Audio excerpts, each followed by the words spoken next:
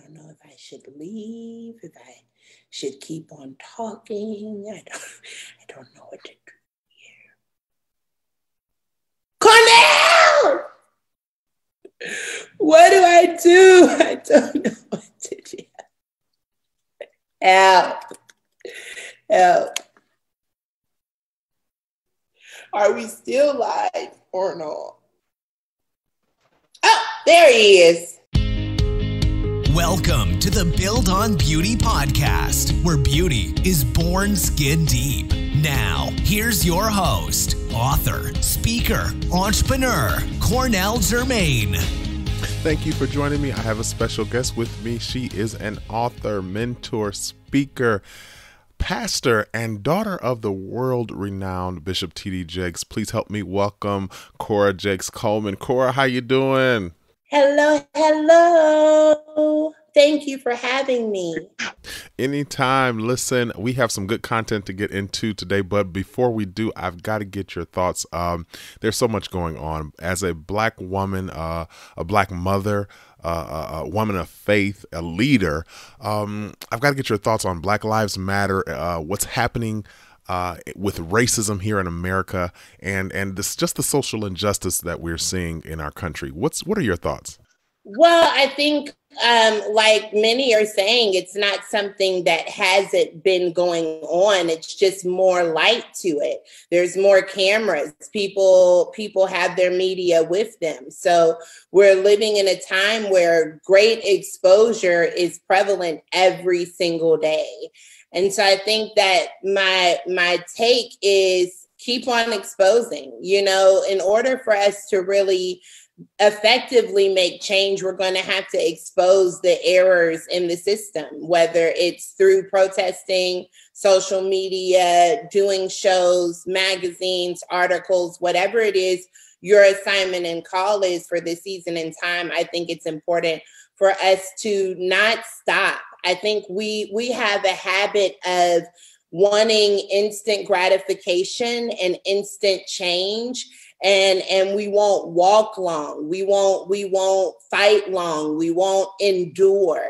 And i think that this is going to require a great endurance from our people. And if we're not willing to endure then it's just going to be another black man that has died another black woman that has died another just rude, rude and rural system that we will continue to perpetuate because we're not willing to endure.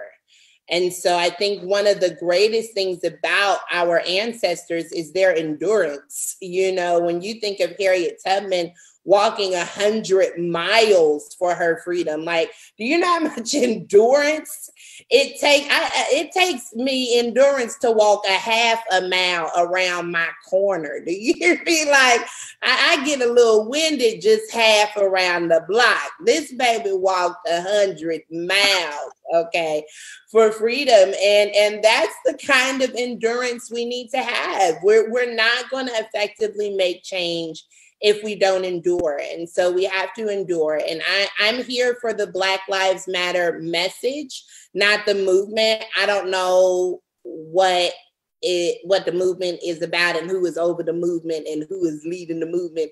And it, it sounds a little sketchy what's going on with the movement. But i'm here for the black lives matter message and and what the message represents for our people. Um, and i think that it's time. I have a six year old son i have a 12 year old um, biracial daughter, and it's important for me to not worry about my son playing water guns at the park. Like yesterday, or no, just last week, he wanted to go to the park and play water gun, play with water guns, and I was like, no. But I, I think we have to effectively make change so that we can see a freedom for our children. That even if we don't get to see, at least we've made a change for our children. Wow. Yeah, you mentioned having uh, two beautiful children, um, and you're also a youth pastor. But I've got, I have to ask, uh, how do we handle this topic when it comes to our young people? Many of them um, don't understand, and some are have, have been just desensitized. How do we talk to them about these issues, especially our black boys? I am actually the children's pastor. And so I've got the babies all the way up to like early 13 year olds. And like I said, I like like I said, I have two children and they're kind of wide range. So having to be able to discuss this effectively with my son and with my daughter has been challenging um to to say the least you know i have my son who is just such a loving person so he wants everybody to know black and white lives matter.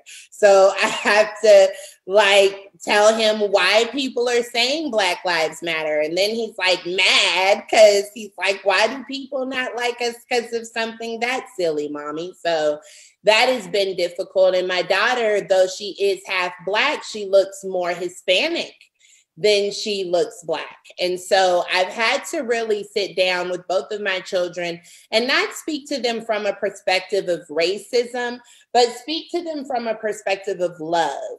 Children can understand love more than they can understand hate and and it's something that is taught and it's something that is easy for a child to understand from a 5-year-old to a 12-year-old there are there are more things that a child can show you that they love than they could tell you that they hate.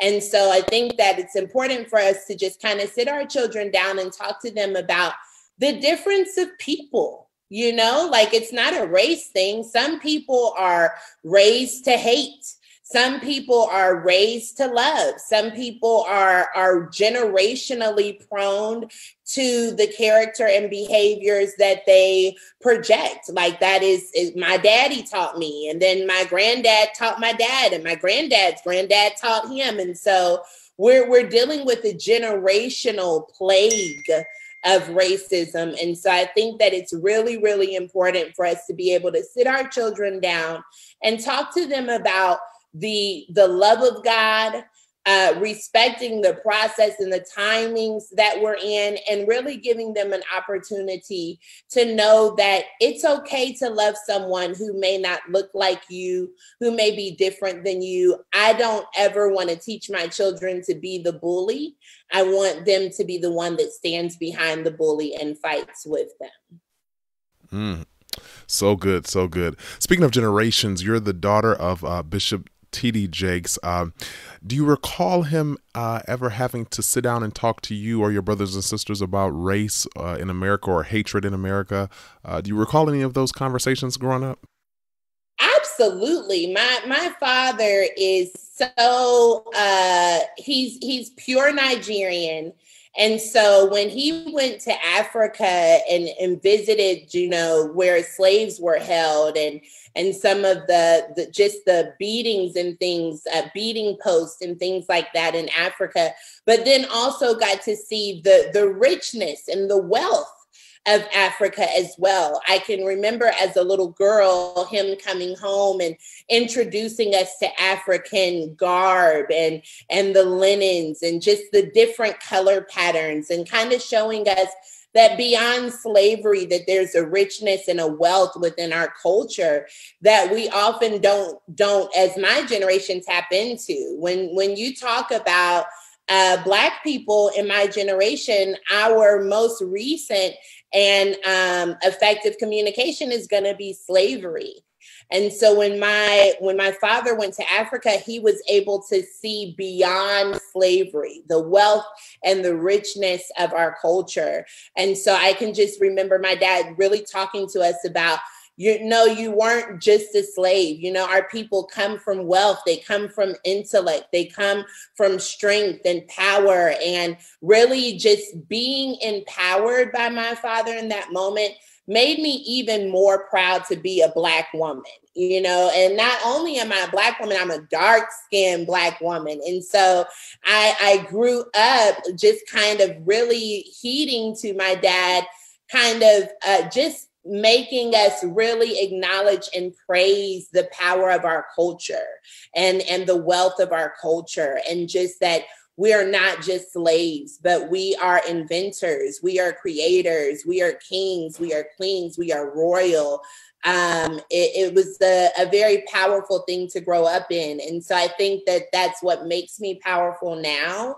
It's just like as a child, my father never made us feel bad about being Black, if that makes sense. Like we were never made to feel like this is a weight, it's heavy, it's a burden but we were always empowered to be Black, to accept our culture, to walk boldly and strong in our culture, and always will be. I am proud to be a Black woman, and I'm teaching my children the same.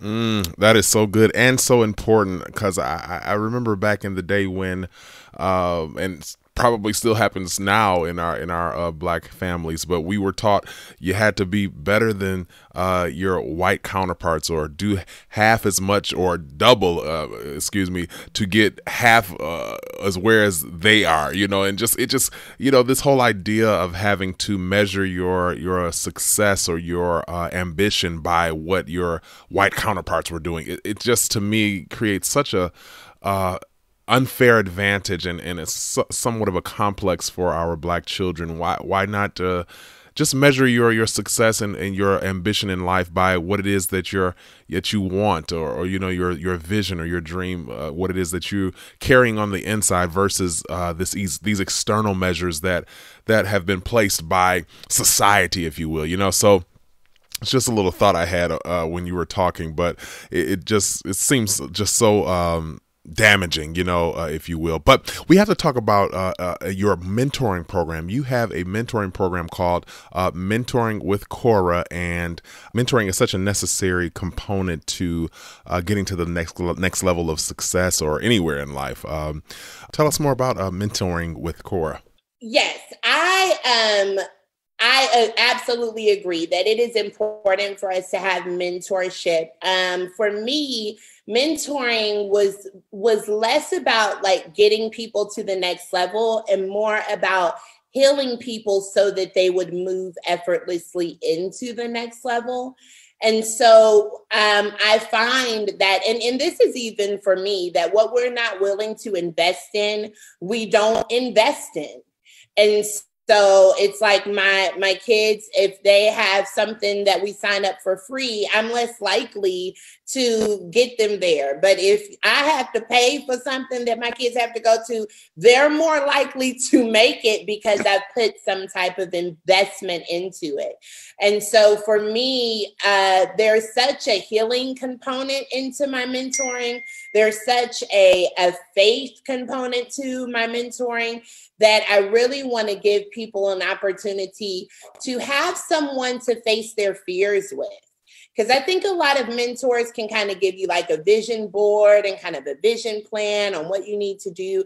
But when it comes to facing those things that hurt you, those rapes, those molestations, those bullying moments, those traumas that have happened in your life, having to go back and look at those things and not having someone hold your hand while doing so can can bring on even more trauma.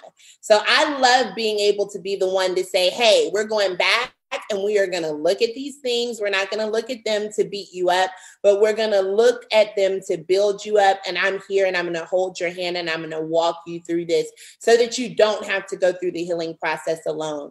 I think that we have learned how to hurt alone. And I think that we have tried to heal alone, but mentoring really gives us an opportunity to have an adequate and effective person teach us how to heal properly. I think our bones and uh, spiritual bones uh, need someone who can teach us how to heal those spiritual bones properly, how to heal our spiritual mind and our emotional heart. And that's what mentoring with Cora is about. It's not a pastor thing, it's just an opportunity for me to be able to say, hey, I want you to be healed. I want you to be whole, and you don't have to do it alone. And so you can join this program, and I'll help you face some of the hardest things that it is for you to face, and we'll walk through them together. Mm. Uh, when it comes to healing, give us a little tidbit. What is uh, the Cora message when it comes to uh, starting that process of healing? Oh, we've got to get to the roots. We have to get to the root. I tell every single mentee, we have to get to the root of the thing. I'm never going to start in your now. I'm going to go back to the roots. A lot of the reasons why we have the relationships that we have is because of our relationships with our parents. Um, our relationships with friends start from the foundation of our relationships with siblings. And so I'm always, I am a root person. I will always be a root person because I believe that just because a tree is beautiful, the substance of that tree, what makes that tree beautiful is a root thing. It's not a leaf and branch thing, but it's about the roots that are in that tree. And if I can help to decontaminate some of the roots or even cleanse and move some things out of the roots that are causing a hindrance in growth, that is my go to. Every mentee that has been sent to me, I know for a fact have been sent by God. And um, our first session, I always end up finding out like, this is specifically why you're here for this person. This is specifically why you're here for this person. And um, and it's really just been fun to watch them go from a real dark and broken and hurting and lost place to a free, confident, bold place. Like I'm like, warriors are rising. And if I get to be just a portion of someone's process, that just it, it gives me so much joy. Yes, indeed, indeed. Uh, when it comes to mentoring, there are so many that are offering uh, uh, similar or such programs, uh, maybe as yours. Give uh, our young people who are maybe in the market looking for a mentor, give them some tidbits. Um, what should one look for in a mentor? like before you even look for a mentor you need to make sure you're ready and you're you're prepared for whatever that mentor is going to take you through. A lot of mentors do things in their process completely different. But if you are not prepared and you sit with your mentor that first meeting and that mentor hits you with some stuff or slices you and you start bleeding and you get mad and angry and stop the process before you can get to the healing, then you weren't ready to start mentoring. So you have to be prepared to be cut. You have to be you have to be prepared to be to to be critiqued, to be held accountable to the content of your character. Um, you have to be willing to do the work. I hate when mentees spend all of this money, say they want a mentor, and you give them homework and assignments to do and books to read and things to help them, and they don't do the work and then they get mad that they're stagnant. And so you have to be held accountable to doing the work in order to get to the other side. You would not expect a paycheck and you didn't work for it. It's not fair. And so for you to expect healing from me and you're not doing the work, it's not fair. And so I think it's really important that you seek a mentor that's honest that um, has integrity and and matches the a faith built belief that you believe in because a lot of times things are a spiritual situation and not a natural situation. So you need to have someone who can look at things both ways and and be able to advise you in that way. You need to have someone who's compassionate and and may un- have an understanding or an expertise in some of the trauma you have gone through. I get a lot of people who battle with infertility. I get a lot of people who have battled with domestic violence or, or marriages because i have experience in those areas. So find someone whose testimony sounds like something that resonates with you. Uh, find someone who's honest who has someone that holds them accountable. That is a big thing do not have a mentor that does not have a mentor. That's dangerous for you to have someone hold you accountable, but they don't have anyone to hold them accountable. So you need to find someone who has someone to hold them accountable. You need to have you need to find someone who has a mentor that is guiding them because if you if they don't have anyone holding them accountable and they don't have anyone guiding them, then when they get hit with their big battles, they won't have the capacity to help carry you out of your battle because they don't have anyone holding them accountable and pushing them through their own. Mm. That is good. So so good. Uh, since it's on the table, who who are some of your mentors in this season?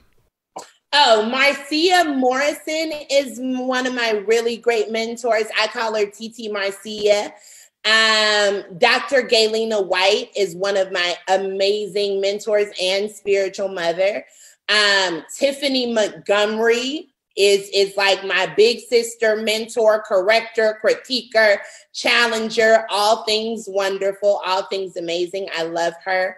Um and and my mom and father you know they mentor me hold me accountable. I have ninjas that mentor me and hold me accountable that i will not release their names because they're ninjas for a reason um but i have i have people always surrounding me that can tell me hey cora that's not a good idea or maybe you should do something different or don't say it that way you know i i am an advocate for accountability because it keeps me out of trouble. I'm very blunt and very direct. And so I need people around me who can say, okay, that's a little bit too much, Breon. You need to put a little Cora in there. And so it keeps me accountable to not being like terribly blunt because I, I can be terribly blunt. I understand. I understand.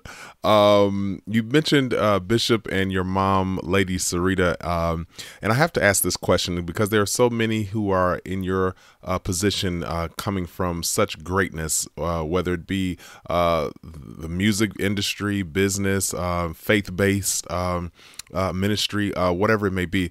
But they spend many years and a lot of time running away from um, what it is that has been built, um, not necessarily in shame or or in disrespect, but just uh, to find their own way, to find their own um, uh, existence outside of what it is their parents have built. I'm curious, uh, what was that process like for you, uh, coming from such great men and women of faith? how did you find your own voice, your own lane? your own purpose?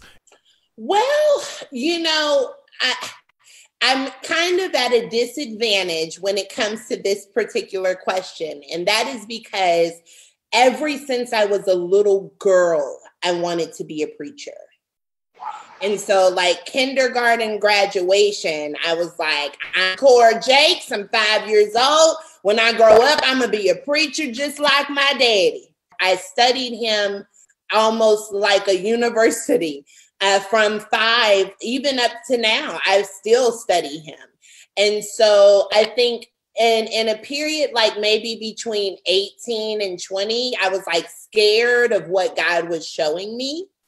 And so i ran a little bit kind of jogged away for a second because i was real nervous about what what god was showing me and so i was like ah we're good. It's fine. So I'm going to go and, you know, I'm going to go to the clubs. You know, I'm 18. I'm to go to the club. And I hated it. And it smelled like smoke and alcohol and really bad feet. And so I was like, um, this isn't gonna work. This isn't gonna work for me. And so I ended up just running again into myself um, not trying to be my father, but trying to carry his legacy in such a way that people would know that he was a part of me.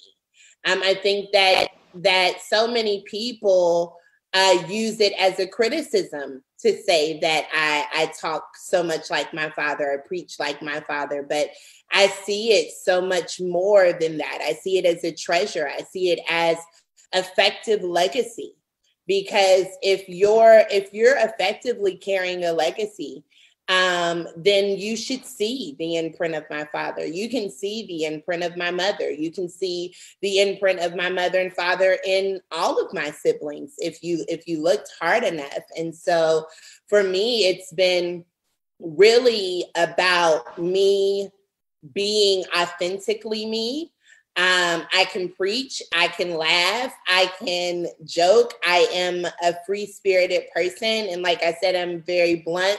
So I think my dad was very nervous about how people were going to receive me because I'm just kind of like, take it or leave it. so um being able to come out and people like really receive me for just like my authentic character has been really, really awesome. And I think that's the best, the, uh, the best advice I could give to anyone is like be your authentic self because no one can fight you about your truth. You know, like you're not going to start an argument with me about anything that is true to me.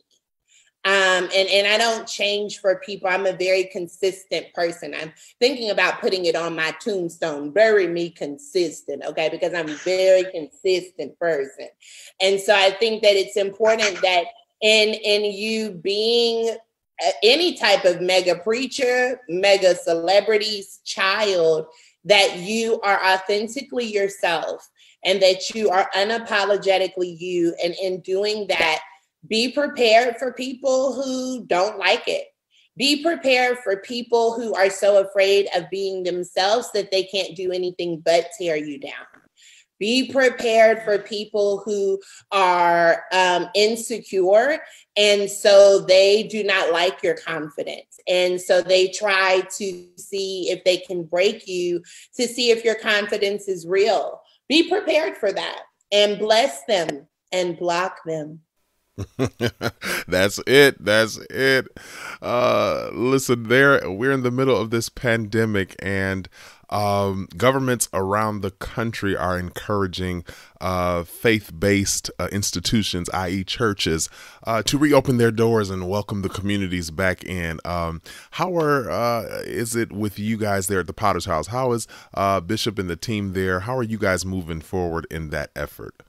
Well, I can't speak for my daddy, but I can sure enough speak for myself. Now, listen, when we did not have a pandemic, y'all would bring your snotty nose, fever having, crying during worship, body fluids all over the sanctuary when we didn't have a pandemic. We are not about to open up the church service so that you can vomit demons all over the pews and you can cry and snot your droplets all over the sanctuary and give everybody corona. No one is interested in renaming their churches corona, okay? Because that is what's going to happen. That's what's going to happen. We stay in church for hours and hours. The fact that you could even try to compare a grocery store to some of these eight, five hour services that we have is ridiculous. And so I think that everybody needs to stay in their house. Enjoy this streaming time because when the church was open, guess what? Catch this, you didn't go. And so now that the church doors are closed, you want to be upset about them being closed. But the reality is, you're just mad because your choice has been taken from you. Okay. Your choice has been taken from you. You're a little salty about that, and it's fine. Everybody can be salty, but we're not opening the church so that y'all can make everybody sick. Well intended, but uh yeah, no, it's not happening. My daddy is 63. My mama is about to be 65. Ain't nobody got time for y'all making my parents sick for the for for what? Cause y'all can't watch TV, y'all can't watch a computer screen. Child, bye. That's my thoughts on it. I don't know what my father's thoughts are. I can't speak for him, but I can show the speak for myself. And I think everybody need to sit down and act like Corona is real. Okay, Corona protests, and Corona will go to church too. Corona will go to church. She is not above church. oh my gosh, I love it. I love it. And it is so true. Um, uh, well, we have to cover your book, The Ferocious Warrior. Uh, in your book, you discuss the P principles of faith. Give us some of those principles and why they are important. Okay, so listen, I have so many different acronyms and principles that before we even came on the call, I was trying to figure out which book has the P principles of faith. So I think I think faithing it has the P principles of faith. And so those are um oh Lord, that was 2014, Jesus help. Uh process, promise, perspective, and perseverance. And then I've got the P principles of prayer, which is in Ferocious Warrior as um, this my latest book. And a few of them, I can't give them all to you because get the book, um, is our position. So, so how your heart is positioned in prayer, um, what posture you have, not not if you're on your knees or if your head is bowed, but the posture of your heart towards God in prayer is so important because when we come to God in prayer, we have to remember that we're coming to Him through His Son. And so if we do not have a pure heart and we try to, it's it's almost like putting um, the wrong kidney into someone's body, they'll reject it. And so if you try to put a heart of prayer that is not pure through Christ, it will be rejected. And so you have to make sure that the position of your heart is pure towards God. And a lot of that takes you know, looking at yourself, examining thine own self, letting God know you angry about some things you don't want to tell him you angry about, uh, sacrificing some some self gratifications and pleasures and temptations that we tend to fall into just because it's our, our sinful nature and fleshly nature. It's going to take being able to really reposition your heart towards God. So that's one of those P principles. The other P principle is your your power.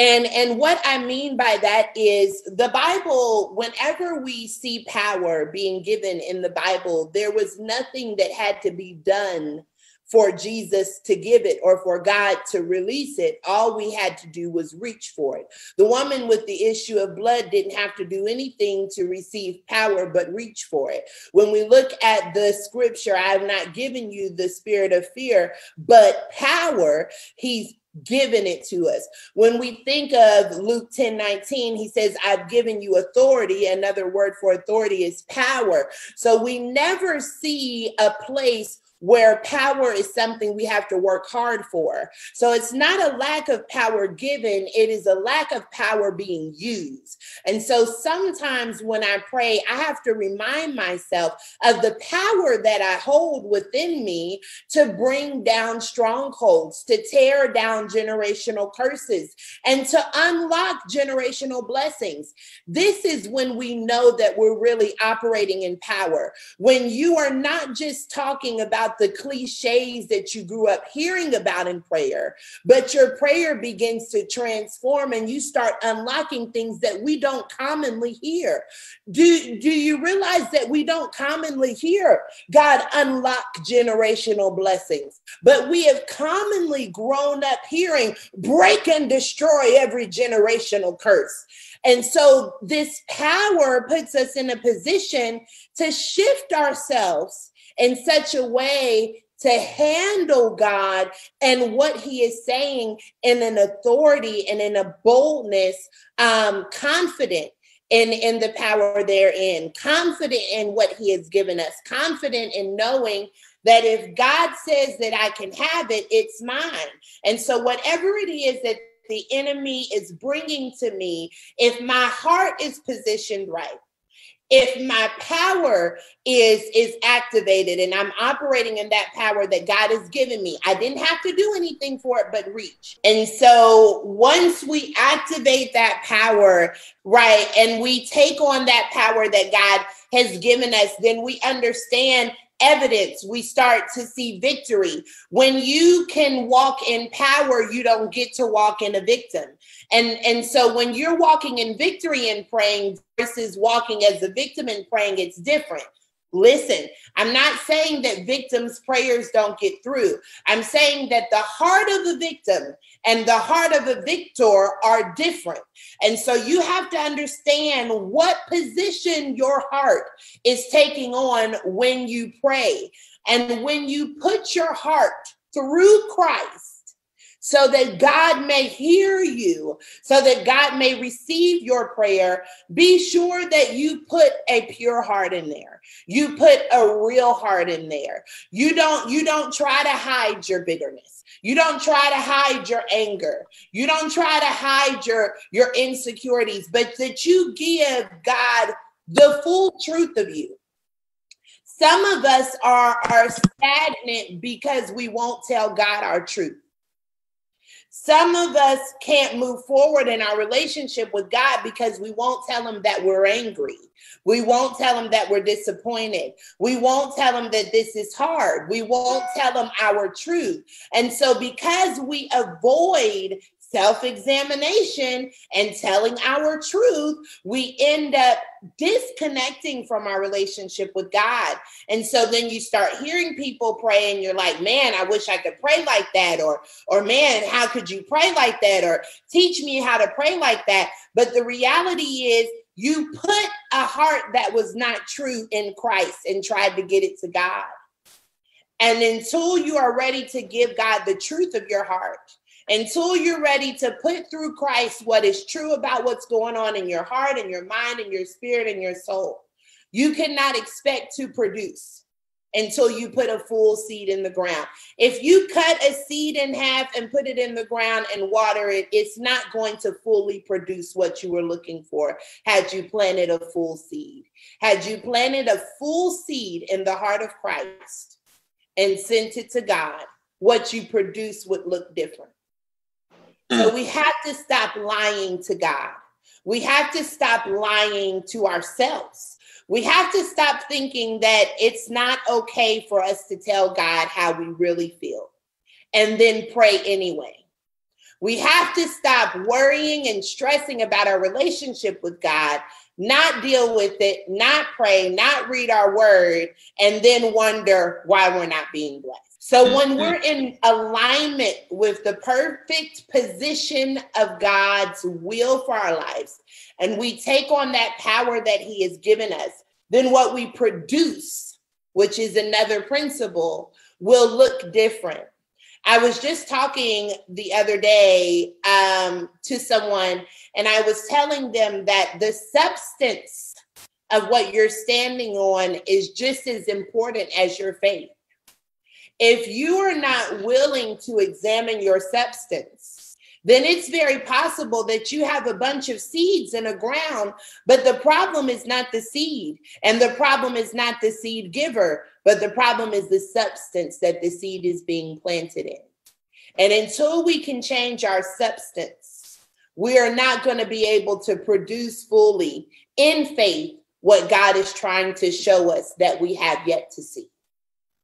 Mm, so good, so good. Listen, uh, we have to talk faith for a minute, and I this in this instance, I want to talk about uh, because we're in this season uh, where many are believing God, praying for loved ones. Um, praying uh, for health and healing um, and, and believing God to restore and and and and sometimes and in many instances as as we've seen since this pandemic has been uh, going on uh, it doesn't happen the way we may uh, have planned or may thought it would um, speak to that area of faith what is one uh, to do when they stand in faith and they believe God uh, to restore and and and it doesn't happen quite how they planned Absolutely. I think the the first thing that I would address is that we tend to hold faith just solely responsible to our belief.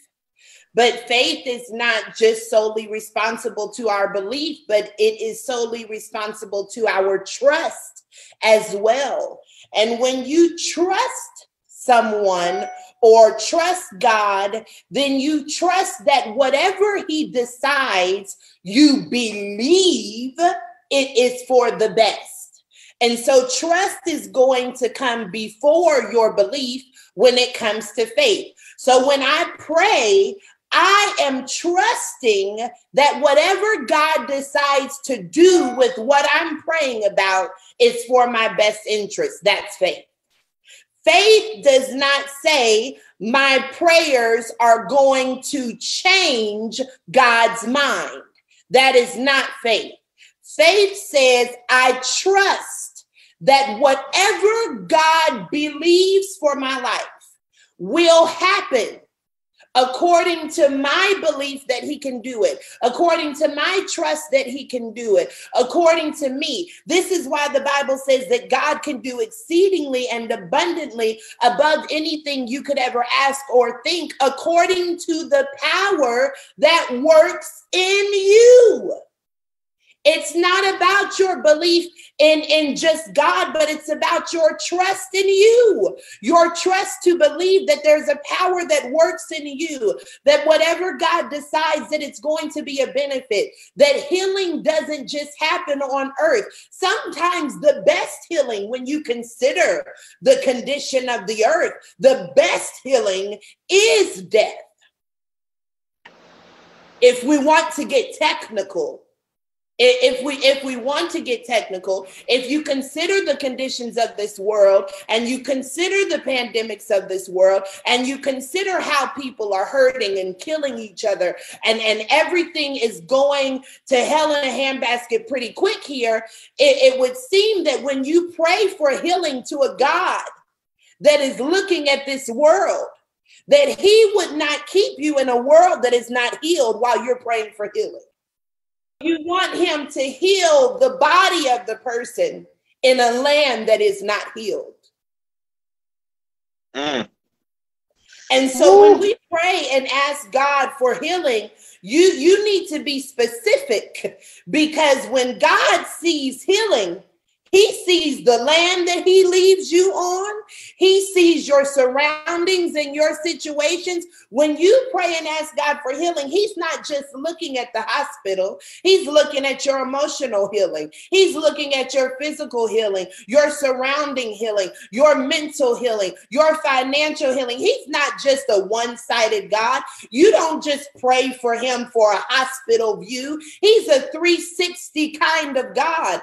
And so if he's sees that if I take her, she'll be better than if I leave her in this world that is already sick and dying, then I'm probably going to go ahead and take her. Healing doesn't get to work the way you want to work it. Healing works the way that works for God. Mm, my, my, my. Ooh, that was meat straight off the bone. My goodness. Well, with all that's going on, uh, we're getting ready to let you go, but with all that's going on, uh, pandemic, uh, uh, uh racism in America, I mean, the list is endless. Black Lives Matter, social injustice, police brutality. I mean, we could go on and on. Um, with all of this that's going on, what have you learned in this whole experience? Oh, that's such a good question. I've learned so many things, but I think one of the greatest lessons I have learned throughout all of this is the resilience of our people. Um, I, I think that, again, as a culture, we are so empowered, we are so resilient, we are so um, just strong beyond what man can even fathom and and i'm learning that i'm learning even more the strength of the black person. I'm learning even more the threat that we pose. And and for me i've always felt like if if i am a threat to the enemy that's huge, you know? Like there must be something just absolutely amazing in me that they don't want me to grow. They don't want me to live. They don't want me to breathe. There must be something so strong and so powerful about us as a culture that we pose such a threat from something that God gave us. That is like just a powerful revelation that I am like finding like okay the thing that y'all are threatened the most about is the thing that god gave me. Yeah. And yeah. and so i'm learning that. I'm learning that we are a powerful culture. I'm learning that we are resilient. I'm learning that we are strong and we will overcome. That is that is just something that is inherited victory for our people is that we will overcome and it it gives me great joy to see our um, white brothers and sisters standing alongside us so i'm learning that too i'm learning how how much unity uh, I have within my friends that are that don't look like me. I'm learning all of that. God is exposing so much about relationships and things in this season. And so I'm trying to grab a hold of everything that he's teaching because there's most certainly a lot to learn. Yes, absolutely. Well, before I let you go, Cora, I got to get you to play this fun game with me. It's called My Five Favorites. Uh, what it is is I'll give you two options, and you tell me out of the two which is your favorite. Ready? Okay. Music or movies? Music. Sneakers or stilettos? Sneakers. Uh, Peloton or Pilates? Peloton. Pound cake or peach cobbler? Peach cobbler. Saturday night or Sunday morning? Saturday night. wow. Well, thank you, Cora, so much for joining me. Listen, tell our listeners how they can connect with you, get the books, and all that good stuff. Hello, visitors, viewers, and watchers. Thank you so much again, bro, for having me. I had such a good time. You can follow me at C Jakes Coleman everywhere Periscope, YouTube, Instagram, Facebook, Twitter. I'm everywhere. C. Jakes Coleman. If you want to be a mentee, you can go to cjakescoleman.storenvy.com and register for a three session or a six week session with me. Um, and if you want to book me, you can go to cjakescoleman.com and book me for anything next year um, because we're not doing any any visits to the people of God for the rest of 2020. Well, thank you so much for joining me, Cora. I appreciate it. Listen, my best to you and the family. Uh, stay safe and stay well. Well, this has been the Build on Beauty podcast, where beauty is born skin deep. I'm your host, Cornell Jermaine. Until next time, let your soul be made whole. Take care. Thank you for listening to the Build on Beauty podcast. For more information about our host, please visit cornelljermaine.com.